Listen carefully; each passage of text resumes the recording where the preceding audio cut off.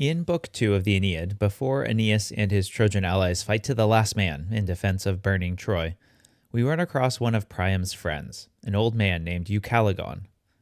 Aeneas, having just woken up, climbs up onto his roof to assess the situation, and here's the reference. Already there, the grand house of Deiphobus stormed by fire, crashing in ruins. Already, his neighbor Ucalegon up in flames. And uh, here's the Latin.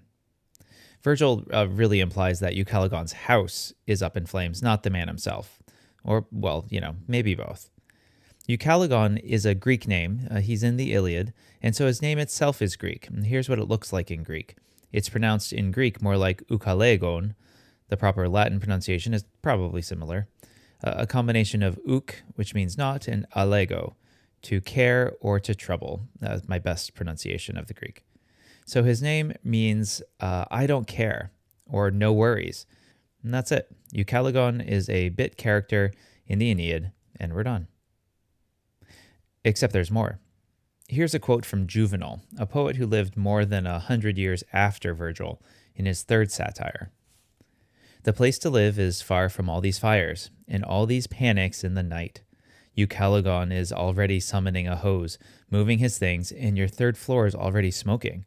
You're unaware, since if the alarm was raised downstairs, the last to burn will be the one a bare tile protects from the rain, up there where the gentle doves coo over their eggs.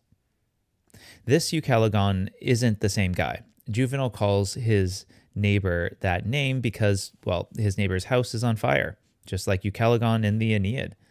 But Juvenal puns on his name. The guy whose name means I don't care shows that he really doesn't care about anyone else. He's summoning the hose to put out his fire even while your own house is burning, but he hasn't told you. You are unaware. But hey, at least he's learned his lesson from the burning of Troy. His house burns, but he saves his stuff this time. And so, from Virgil and Juvenal, this name has made its way into the modern age for a neighbor whose house is on fire. Here's a reference to him in Rabelais' Gargantua and Pantagruel, and another one by uh, Thomas Kirby.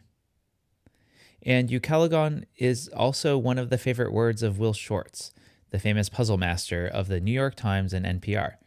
When asked by the Harvard Crimson if he uses the word often, Shortz replied, Well, I hope my neighbor's house isn't on fire. It's hard to imagine it coming up in conversation. What do you do if your neighbor's house is on fire? Do you call the fire department and say, I have a Ucalegon? They're not going to know what the hell you are talking about. It's amazing that a name in the Aeneid for a guy whose house burns during the sack of Troy can make its way into English as a person who suffers the same fate.